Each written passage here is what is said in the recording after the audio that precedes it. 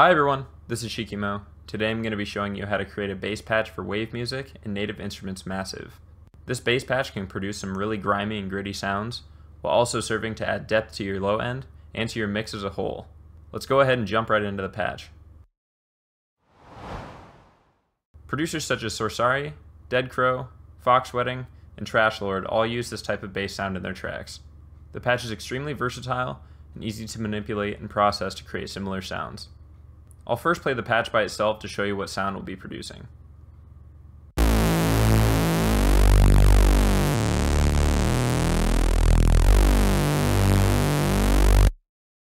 Now here's what it sounds like with a simple beat behind the lead.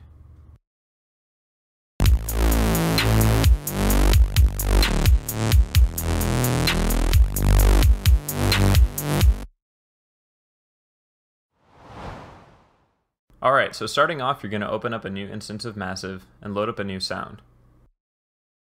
Take the pitch down one octave on the first oscillator and set the oscillator to filter 1.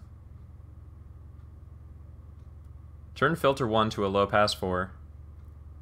Turn the cutoff all the way up. And turn the resonance to roughly 10 o'clock. Your patch should sound like this so far.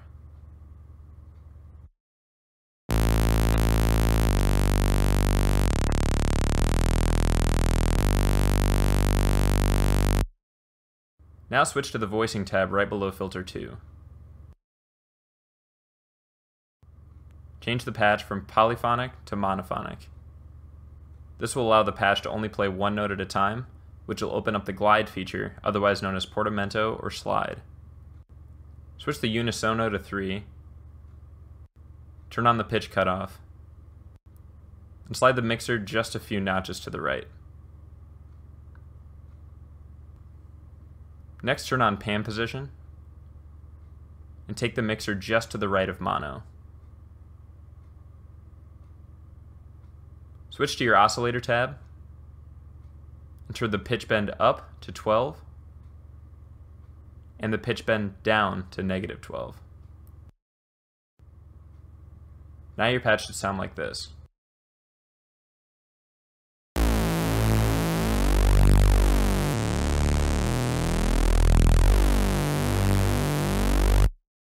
Now we'll do some simple EQ and macro work. Turn your EQ tab on, and turn the high shelf just a tad bit up to just below the 1 o'clock position. Now go to your second macro, and place it on the cutoff of filter 1. Take the macro down to about the 11 o'clock position, and rename the macro cutoff. You can also put a macro on the resonance if you want, or any other parameter you want to automate. This could include the glide time or the oscillator 1 wavetable position. Once you have all parameters in place, you'll have the patch.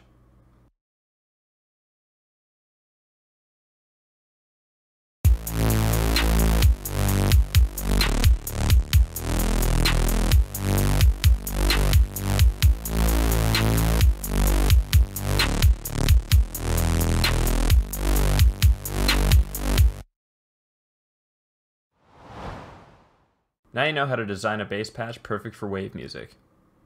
I hope you found this video helpful. If you have any questions or comments, please let me know below. Subscribe to my channel for more tutorials and music. Thanks for watching.